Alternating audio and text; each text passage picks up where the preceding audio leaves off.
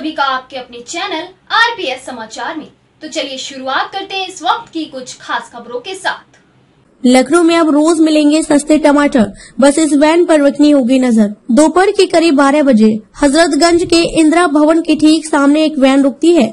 देखते ही देखते उस वैन के पास भीड़ जमा हो जाती है। लोगों की लंबी लाइन लगी हुई देखकर लोकल अठारह ने लोगों से पूछताछ की तो पता चला कि यहाँ पर सस्ते टमाटर मिल रहे हैं।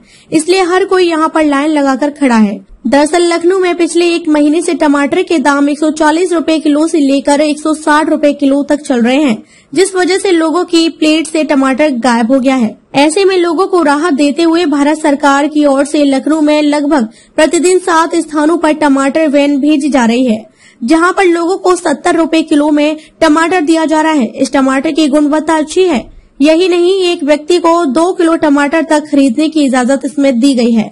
एनसीसीएफ के डायरेक्टर अजय सिंह ने बताया कि भारत सरकार की ओर से लोगों को राहत देने के लिए ये योजना चलाई गई है। जब तक भारत सरकार की ओर से कोई आदेश इसे बंद करने के लिए नहीं आएगा, तब तक इसे चलाया जाएगा। उन्होंने बताया कि प्रतिदिन एक वैन में लगभग सात कुंटल तक टमाटर होता है और पूरा टमाटर लोग खरीद लेते हैं। फ़िलहाल के लिए बस इतना ही। मिलते हैं इसी प्रकार की अगली बड़ी खबर में। तब तक के लिए बने रहिए हमारे साथ और देखते रहिए आरपीएस समाचार।